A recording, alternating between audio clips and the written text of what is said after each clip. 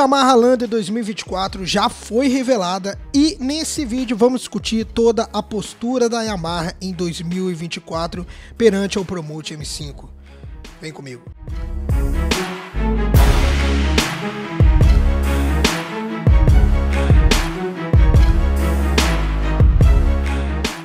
Fala pessoal, sejam muito bem-vindos a mais um vídeo desse canal. Meu nome é Marlon e, gente, é o seguinte, tá? Hoje vamos falar dela, Lander. Muita gente está esperando para ver o modelo 2024, mas, dados os acontecimentos aí com a FZ25, a gente já espera que a mudança vai ser mínima, não é verdade?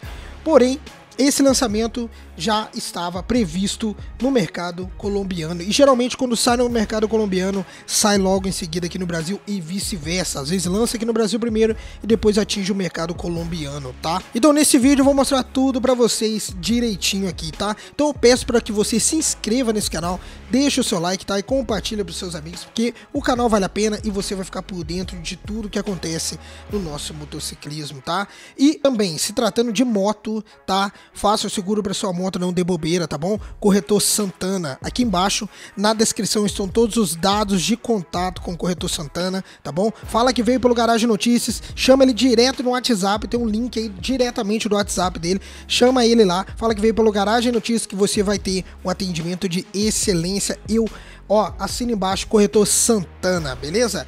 Bom, Vamos falar então da Lander 2024 que já foi revelada. Como eu disse para vocês, a Lander geralmente, a Lander não, né? A Yamaha, por exemplo, quando não lança na Colômbia ou nos mercados aqui vizinhos primeiro e depois lança aqui no Brasil, acontece vice-versa, tá? Ou lança aqui no Brasil primeiro ou lança lá fora e vice-versa, tá? E aqui, como a gente pode ver, ela ganhou a cor branca, tá vendo? Que é o mesmo modelo que é comercializado aqui no Brasil, tá vendo aqui, ó, o grafismo na lateral do tanque, tá bom? E lá também tem a vermelha, ó, a vermelha aqui, tá? Vamos ver se a gente consegue aqui o 360, ó, a branca, a branca, legal, tá? O site da Yamaha na Colômbia tá de parabéns, né? É, só tem 360 da branca por enquanto. Mas é isso que vocês estão vendo aí, tá? É a Lander sem mudança nenhuma aparente e veio na cor branca. Eu particularmente gosto demais da cor branca e eu gostei demais dessa postura da Yamaha, pelo menos mantendo a cor, né? É, mantendo a cor não, trazendo uma cor nova. Com, com certeza isso aqui vai ser lançado no Brasil também, essa cor branca pode ter certeza, tá bom? Mas eu entendo a Yamaha por ela adotar certas condutas de mudar somente as cores aqui no Brasil. E nesse vídeo eu vou trazer uma reflexão mais aprofundada para vocês. Eu vou mostrar para vocês agora. E antes de a gente dar continuidade no vídeo, eu queria falar da Zapay, pessoal. A Zapay é a melhor forma de você parcelar os débitos da sua moto, tá bom? Ela está credenciada em todos os Detran do Brasil e é a melhor forma de você regularizar os débitos dos seus veículos, multas, licenciamento, enfim, tá? E a Zapay é 100% confiável, tá, pessoal? Inscritos aqui do canal que já usaram essa plataforma e disseram que é sensacional. E ainda por cima, para você que é inscrito aqui do Garagem Notícia, olha só que beleza, você ainda tem um cupom de desconto de 12%. É só usar o cupom cupom 12 nos parcelamentos acima de 8 parcelas, que já você vai ter um desconto lá de 12%, beleza? Então é isso, Zapay, todos os dados estão aqui na descrição, entra através do link que você já vai ter acesso ao site, que ó, ó, é delicinha, parcelamento para você para ficar em dia com os débitos do seu veículo, beleza? A Yamaha pro ano que vem, 2024, ela tá investindo muito na produção das suas motos. Eu sei que todo mundo espera pelo menos uma mudança no motor, tá? Mas acredito, tá? Pela, pelas fontes que eu tenho, que mudanças virão a partir do ano que vem. Esse ano, se você está esperando alguma mudança plausível na Lander, além de cor, você já pode tirar o seu cavalinho da chuva, que não é o que vai acontecer. Por quê? Isso aqui é o que está acontecendo aqui no Brasilzão, tá? Venda de motos em 2023 já supera período pré pandemia. Entre janeiro e abril, emplacamentos de motocicletas somaram 477 mil unidades, quase 478 mil unidades. É alta de 35,7% na comparação com o mesmo período de 2019, antes da crise aí dessa doença aí que arrasou o mundo, tá? E a notícia saiu dia 3 de maio de 2023. E isso mostra pra gente que a demanda por motos está muito alta, tanto para quem trabalha com aplicativo, tanto para quem quer uma economia com combustível, tá, pessoal?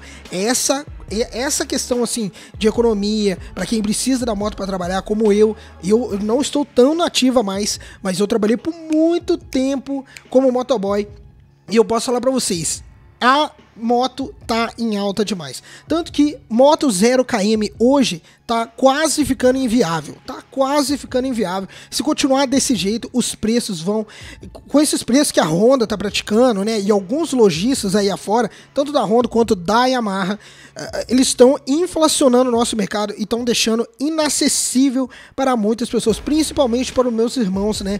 Os motoboys que, pre que precisam de uma moto decente para trabalhar. Porém, temos mais modelos chegando no Brasil agora, mesmo que estão engatinhando para entregar, mas ainda são modelos que estão chegando, tá? E agora eu quero mostrar um, um dado para vocês que eu já mostrei num vídeo passado, mas eu quero mostrar para vocês para dar mais ênfase no que eu quero dizer e você vai entender um pouco do porquê que eu acho que a Yamaha tá tendo essa conduta de deixar por último, para o último minuto do segundo tempo, tudo isso que eles estão querendo fazer, porque não adianta você ter modelo bom não adianta você ter modelos atualizados, sendo que você não consegue entregar as motos. É o que a Honda está fazendo hoje. Então a Yamaha está dando medidas diferenciadas para que isso não aconteça com você. Isso ao meu ver, ao, meus, ao meu olhar analítico sobre o mercado, eu vou mostrar para vocês agora. Como vocês estão vendo aí na tela de vocês, eu voltei aqui em 2015 de novo, só para vocês entenderem um pouco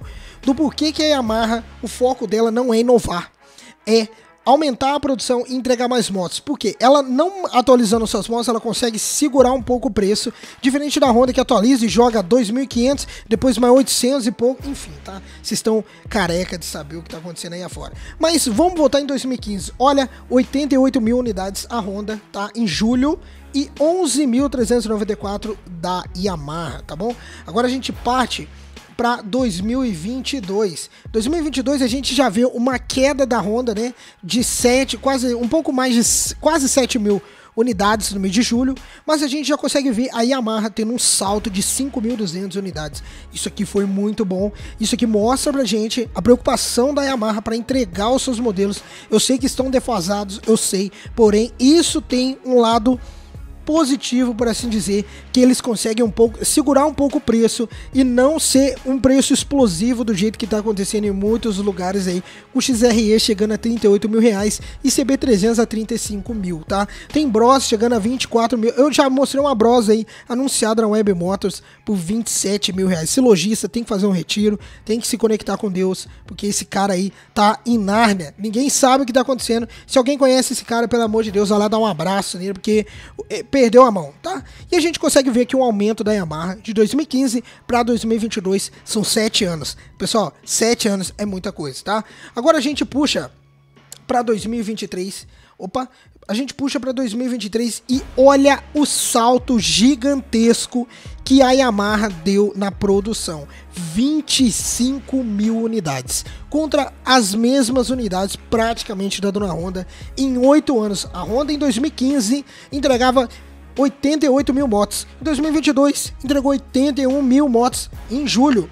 E em julho, em julho de 2023 entregou 84 mil, enquanto a Yamaha foi de 11 para 16 e agora 25.394 é, unidades somente em julho, tá? Então eu mostrei para você emplacamentos de 8 anos corrido, só para você ter uma ideia de como tá o mercado e essa escassez, esses preços subindo, que a própria Honda é, faz isso com o mercado, mostra pra gente que a Yamaha ela tá indo um pouco na contramão, investindo em produção, tá? Para pelo menos ali que ela não consegue é, trazer uma mudança. Não consegue, não, né? Ela não quer trazer uma mudança porque é tudo uma questão de estratégia da Yamaha, tá? A Yamaha é aquele.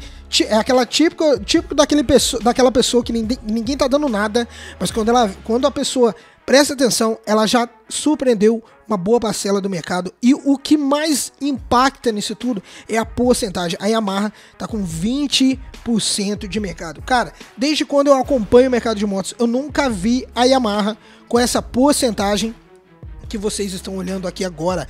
20%. 20% ao meu ver, é muita coisa, tá? É muita coisa, porque a Yamaha com 20% de mercado é um salto gigantesco. Isso aqui mostra pra gente o foco da Yamaha onde tava que era aumentar a produção e não trazer tecnologia. Eu sei que a gente fica triste quando a gente não vê uma mudança, né, diferente na, na FZ25 ou na Lander. Mas agora, todos esses aumentos no emplacamento foi porque a Yamaha tinha preço perto da CB300 e conseguia entregar muito mais FZ25 e Lander do que a XRE300. Aí os rondeiros vão vir no comentário, deixa eu voltar pra tela. Os rondeiros vão vir no comentário falando assim: ah, da onde você tá tirando isso? Cara, olha que saiu notícia meses atrás.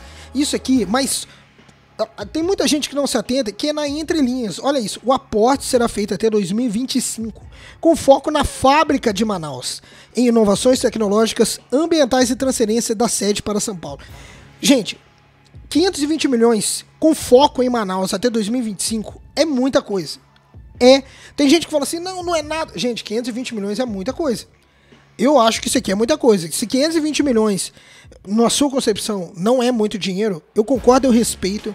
Mas isso aqui para investir única exclusivamente com foco na fábrica, isso aqui é muito dinheiro. E a gente tá vendo o pouco do reflexo disso nos emplacamentos. Números estão aí, dados estão aí e contra fatos, pessoal, não tem, não tem o que dizer. A Yamaha, ela só tá mudando cor porque 2024 ou 2025 a virada de chave vai estar tá aí. Eu acho que é isso que vai acontecer com a Yamaha, tá? Porque a Yamaha, querendo ou não, ela tem que se mexer porque Bajaj tá chegando com tudo. E se não, quem não inova se lasca. Aqui vai ser no mercado brasileiro desse jeito. Então, pessoal, esse foi o vídeo. Foi um vídeo mais longo para mostrar mais para vocês a, a Lander e a posição da Yamaha no mercado brasileiro para vocês com nos mínimos detalhes, beleza? Então é isso, pessoal. Zapei aqui na descrição para você que ainda tá sofrendo com os débitos do seu veículo, multa, licenciamento e PVA entra aqui no site da Zapay, Bitly, seguro também, corretor Santana, entre em contato com o corretor Santana, beleza? Então é isso, pessoal. Se gostou, deixa o like, se inscreva no canal e compartilha pra geral. Beijo no coração e tchau.